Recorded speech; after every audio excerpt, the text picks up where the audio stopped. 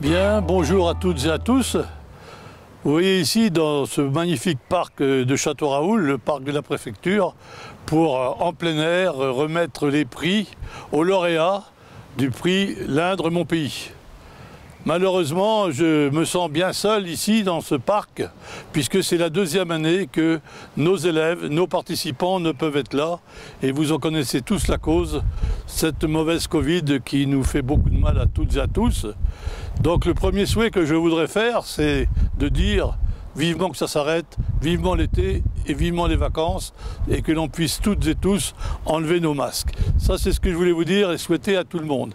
Et puis, en deuxième point, c'est dire aussi un grand bravo et un grand merci à toutes les, à toutes les jeunes filles et tous les jeunes garçons qui ont participé à ce prix L'Indre mon pays, puisque cette année, il y a plus de 43 classes de collèges réparties sur 16 collèges de l'Indre qui ont participé, ce qui représente presque 1000 élèves, 932 élèves, si j'ai bonne mémoire, pour l'ensemble du département. C'est quelque chose de, de formidable.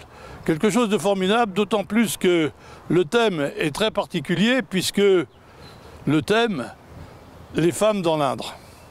Les femmes dans l'Indre réparties sur sept euh, genres de questions, sur sept sujets bien particuliers que les élèves ont toutes et tous su, euh, les questions auxquelles les élèves ont tous su répondre avec euh, attention, avec intérêt, avec précision, je dirais même avec imagination pour certains, parce que là aussi c'est la volonté que nos élèves aient l'esprit créatif ou créateur, comme on veut, et très imaginatif.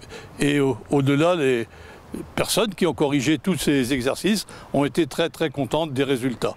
Je tiens aussi à remercier toute l'équipe de Canopée qui nous aide bien sûr à monter ce, ce, concours et puis aussi à tous les services de l'inspection académique avec qui nous, nous, travaillons département main dans la main depuis de nombreuses années pour que tous nos élèves puissent avoir en ce qui nous concerne, des lieux de travail euh, en état, bien adaptés, et puis que l'État puisse mettre des professeurs, et il les fait bien sûr, qui sont dans des conditions intéressantes pour former nos élèves le mieux possible, c'est toute notre volonté. Alors vraiment bravo, les thèmes étaient importants puisque le premier c'était sur la sorcellerie. Ah, on dit l'Indre, le pays des sorciers, mais je crois savoir, hein, ça n'engage que moi, en tant qu'ancien berrichion, qu'il y a eu une déformation, car l'Indre, au départ, ce n'était pas le pays des sorciers, mais c'était le pays des sourciers. Car vous savez que dans l'Indre, il y a énormément de sources. Et pourquoi ces sources étaient dans l'Indre, qu'elles sortaient à milieu de coteaux c'était quelque chose d'intéressant, donc on a déduit le pays des sorciers. Les femmes au travail, les femmes dans les usines, l'usine Balzan, très grande entreprise de l'Indre, magnifiquement rénovée aujourd'hui. Les femmes dans le 8e art, celle qui portait un nom d'homme, Georges, Georges Sand. Et Georges Sand qui fut une des femmes les plus avant-gardistes de son époque. On aurait dit aujourd'hui une féministe, mais elle était vraiment avant-gardiste, puisque c'est dans l'Inde que l'on retrouve cette femme qui s'habillait déjà en homme à l'époque et qui, m'a-t-on dit, euh, fumait le, cigare euh, comme, un homme. C'était vraiment euh, aujourd'hui une femme moderne, peut-on dire. Donc vous vous imaginez comme elle était moderne pour son époque. Et enfin, on a terminé, sur l'égalité homme-femme. Je pense que ça ne devrait même pas se poser de questions, puisque la femme devait être, et elle est, l'égale de l'homme. Alors moi je trouve ça parfois un petit peu choquant, ça n'engage que moi, parce que pour moi l'égalité homme-femme, elle existe depuis la création du monde.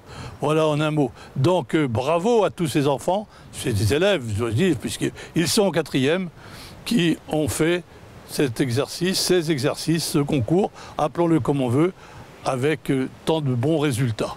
Donc sans plus tarder, je vais donner le nom, le palmarès, Hein, vous savez qu'ils vont pouvoir faire les premiers voyages euh, en France métropolitaine. Voilà, on va essayer de leur donner les moyens. Et puis les autres aussi, une somme pour faire un très beau voyage au travers de notre département, découvrir toutes les richesses départementales.